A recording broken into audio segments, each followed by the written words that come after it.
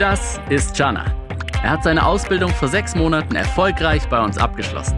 Was macht ein Werkzeugmechaniker? Mit Werkzeugen arbeiten. Geht's auch etwas genauer? Klar doch. Während deiner Ausbildung lernst du Werkzeuge für die Serienfertigung unserer Spannklemmen herzustellen. Und technische Zeichnungen zu lesen, um auf dieser Grundlage Werkstücke anzufertigen und zu montieren. Sind Werkstücke beschädigt, ersetzt du sie. So entsteht ein produktionssicheres Spannklemmwerkzeug. Und wer oder was ist Foslo eigentlich? Schau doch nächstes Mal, wenn du am Bahnhof stehst, aufs Gleis. Hier wirst du sicherlich auf unsere Produkte stoßen. Wir sind nämlich weltweit führender Anbieter für Schienenbefestigungssysteme. Was ist dein wichtigstes Tool im Alltag? Die Fräse. Und was machst du damit? Zeig mal.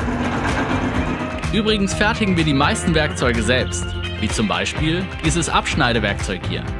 Foslo leistet einen wesentlichen Beitrag zur Mobilität von Menschen und zum Transport von Wirtschaftsgütern. Sicher, nachhaltig und umweltgerecht. Ziemlich cool, was? Also bitte einsteigen. Auch Bock auf eine Ausbildung bei Foslo? Bewirb dich jetzt!